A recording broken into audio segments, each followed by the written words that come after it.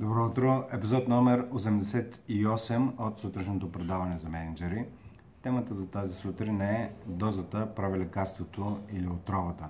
И естествено тук ще говоря за дозата, за дозите не от медицинска гледна точка, въпреки че може би в някой път нещата достигат и до намесване на медицината, но в сферата на управлението, в сферата на управлението на вашите екипи, на вашата организация.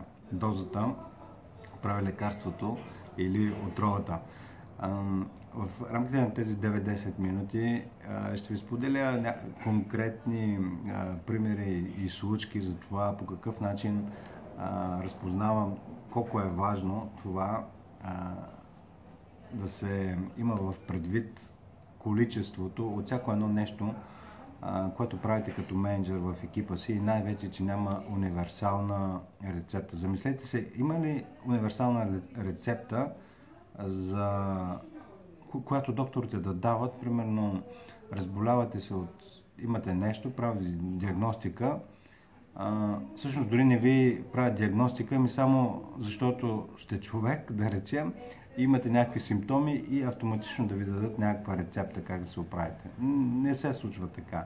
Но, но така се случва по погрешен начин в управлението. Тоест, вие имате някакъв подход, който използвате, той работи при един-двама човека и факта, че не работи при останалите 80%, не ви вълнува много, т.е. фрустрирате се на хората, а, с хората, които не се получават нещата добре. Защо? Именно защото не сте проявили индивидуален подход. Тоест искате с едно лекарство, т.е. с една доза, една доза, която е здравословна за един организъм или за един човек, всъщност е отрова за някой друг. И какво означава това, нали, ако малко по-практически кажа, в един скорошен тренинг отново едно, в едно от упражненията е да питам и да поканя хората да изследват, да работят а, в групи за това, кои са качествата на менеджера, който ги е вдъхновил най-много в тяхната кариера и който е оказал положително влияние в развитието им. И се получават много интересни неща. И след това, естествено, изследваме и качествата на менеджерите, които са имали негативно въздействие в техните кариери, кои са тези качества, кои са тези а, поведения, които са а, отблъсквали или са имали силен негативен ефект върху хората.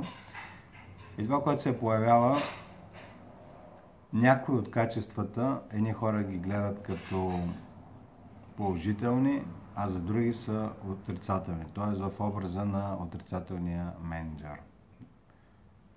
Конкретен пример ще ви дам. Да речем, един човек харесва това, че неговия менеджер е предизвикващ, за друг точно обратното. Предизвикващия менеджер е вреден менеджер, не, не е много добър, а трябва да я подкрепяш. Къде е истината? Истината, естествено, както подсказва и заглавието на епизода, е в дозата. Тоест не, не е да бъде само предизвикващ, не е да бъде само подкрепящ, а да намери точния баланс. И не точния баланс по принцип за всички хора на света, а конкретния баланс за този конкретен човек. И нещо повече, конкретния баланс за този човек, за този, за този специфичен ден и още повече нали, на, трето, на, на трето ниво, разряд от трето ниво, за този специфичен човек, в този специфичен ден, за, този, за тази специфична отговорност или задача, която имате. Какво имам предвид? Имате хора, които са опитни в едно направление, справят се чудесно.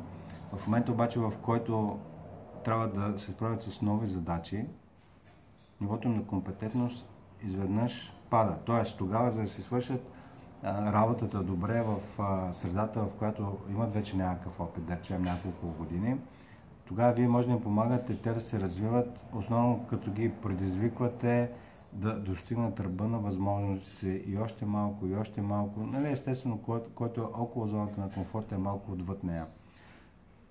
Ако използвате същия подход, когато пратите човека, същия човек в същата фирма, обаче с друг екип или с а, друг проект, той няма нужда, или, всъщност ако продължите да, да го подкрепите, да му мятате задачите и да го пускате надълбоко, същия този човек може да се отдави от това дълбоко.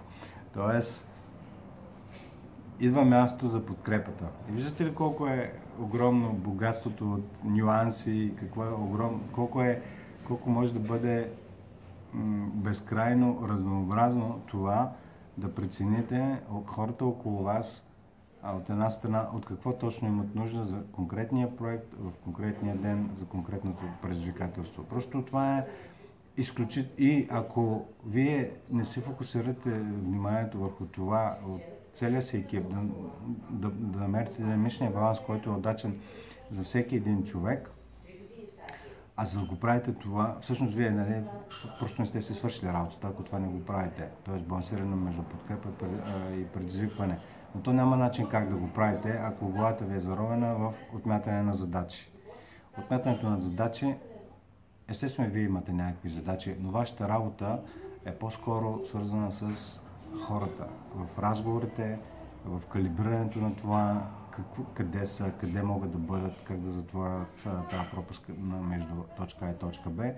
А, и то не само за да постигате резултатите, които имате да постигате заедно, а също така и за да и, и, и да видите всъщност как хората просто израстват пред очите ви. Буквално нали, възрастни, зрели хора отиват до нови, до нови а, така, граници на способност и се изведнъж живота им става по-интересен на нова жизнена линия, ако щете, както каза един приятел. Но това е живота.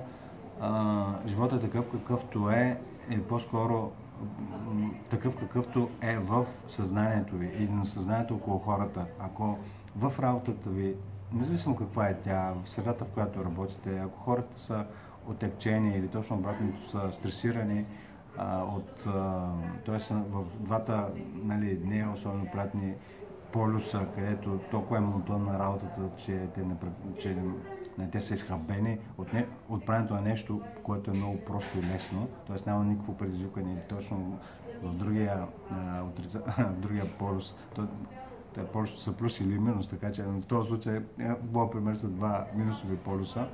А, когато са прекалено много стресирани, т.е. парализират се от много, многото неща, които имат да направят, всъщност тази картина за тези полюси е единствено и основно само в съзнанието им. Наскоро също може да видите епизода за стреса на работното място, който правих преди известно време, където да видите, че самата работа не, не генерира стрес.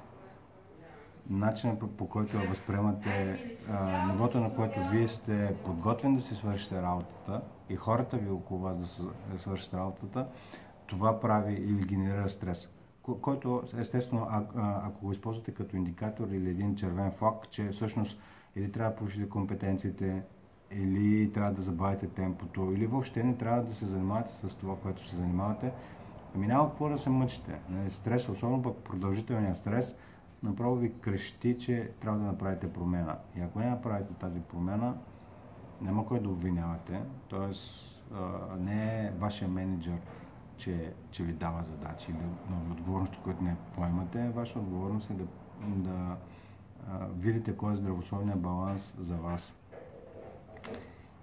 И така, пак стигнахме до това, че нали, ако а, усещате нещо да се запитате как помагате на този проблем да съществува. Изключително мощен въпрос, изключително а, центрираш, както за вас, така и за вашите хора тук през, в рамките на няколко дни непрекъснато го тренирам с различни, с менеджери от различни компании, буквално всеки ден в нов град и в нова компания.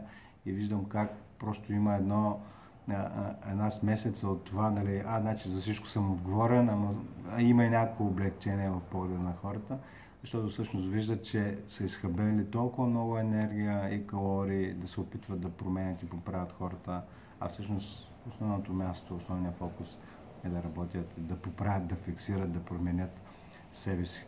И две неща накрая. Една ценното нещо, което излиза а, от вас от този епизод. Напишете си го на тефтера или ми го изпратете като лично съобщение или а, като коментар, където гледате или слушате тези, този епизод. И как ще го използвате? Един от начините да използвате е да го изпратите на човек, на който било, било полезно. Хубав ден ви пожелавам и до скоро!